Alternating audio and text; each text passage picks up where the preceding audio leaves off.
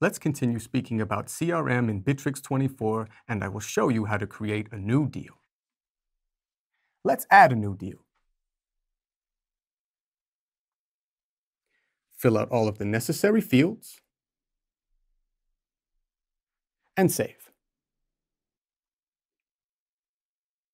Into a created deal, we can add a product from one of the existing products, or add a new product. In order to add a new product, open the tab Products and click the button Add Product. Fill out all of the necessary information and save. Select the product you would like to connect to one of the existing products. For example, a set of multimedia equipment. Save. Now we can create an invoice, and then we change the deal status to invoice.